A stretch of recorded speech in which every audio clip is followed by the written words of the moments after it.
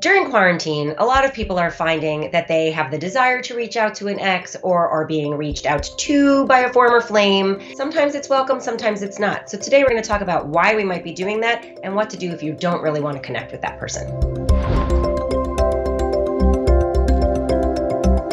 We're reaching out to old flames and exes because we want to go back to that old comfy sweater. You know, it's the thing we know. And here we are in isolation, in quarantine, and we can't build new relationships. So we're kind of going backwards to the old things we knew that brought us comfort. We have to remember that many of us, especially if we're living alone or we're more isolated, are lonely. So we're checking in with old exes because we're lonely and we're just craving that connection. And that's an easy place to get it when we can't create new ones we can ask ourselves if this is a good time to reach out to old flames. And the answer is who knows? You gotta be ready to know what the motivation is, and you've also gotta be ready for an outcome that might not be what you wanted. If you're not sure how you're gonna be received, can you handle that disappointment at a time when you are in quarantine? And if you feel, no big deal, nothing to lose, go for it. And as long as you can handle whatever the outcome is, see where it takes you.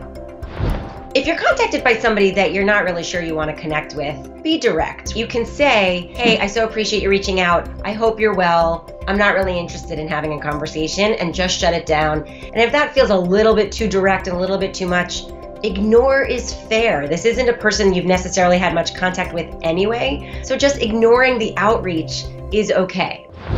There are plenty of downsides to connecting to our ex. They are your ex for a reason. Very often, probably more times than not, we reconnect hoping that that person is different, only to find that they're not. There are the downsides of rejection, of no change, of falling back into old habits when maybe you've moved on in a positive way. So you've got to check yourself of is this what I want to deal with if I do reach out and connect with that person? Just like there's a downside to connecting with the next, there's an upside. Maybe that person has grown in ways you didn't realize. Maybe you can be great friends because you have some history, and just that connection really helps you through this challenging time. And maybe it's just a nice recap of your life together, and you can kind of have closure and move on. There's lots of things that could be beneficial in reaching out. You just got to be prepared for all the things that could happen.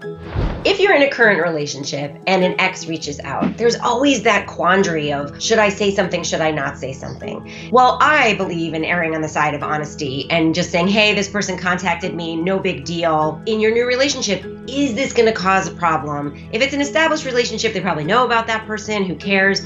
If it was a quick phone call and nothing happened, do we need to let someone know where it might cause a fight? You have to make that decision for yourself. I always think that keeping secrets only makes things worse. And if you're in a relationship where you have to keep secrets, maybe not the best relationships. So you got to weigh out the pros and cons for yourself and figure out what you want to do if you're contacted by an ex and you're in a new or current relationship.